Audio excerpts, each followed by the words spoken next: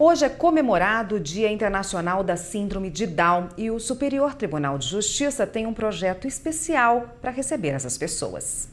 O trabalho é minucioso. Uma a uma, as páginas de livros do acervo do STJ vão sendo limpas. E essa função delicada é feita por funcionários muito especiais. Eles têm síndrome de Down, mas isso não é limitação para que se dediquem ao trabalho. Eles superam as dificuldades do dia a dia como ninguém. Mariana trabalha no STJ há sete anos e há um ano e meio está nessa função. Quando é, selecionou assim, o trabalho do STJ, né, mais importante da minha vida, porque minha vida mudou de lá para cá.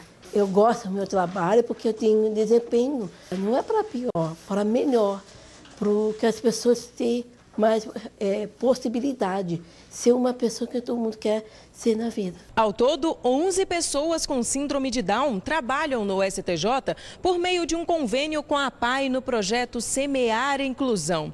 E aqui no tribunal, eles já trabalharam nas portarias, arquivo e agora estão no setor de restauração e conservação de documentos. Todos têm carteira assinada, direitos e deveres como qualquer trabalhador. É importante que a gente abra um espaço para que eles participem também né, dessa, dessa sociedade, mas eles também precisam abrir um espaço interno e com as famílias para participarem das regras que também nós participamos. Né? Emanuel também trabalha como técnico em higienização no setor de conservação e está no STJ desde 2011.